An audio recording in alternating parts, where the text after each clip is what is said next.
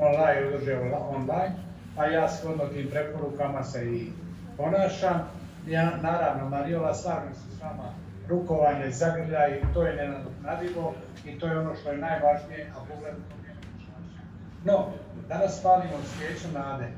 Svijeću koja u istinu, ha, ako nemamo nade, čemu će nam veselje, čemu će nam mir, čemu će nam ljubav.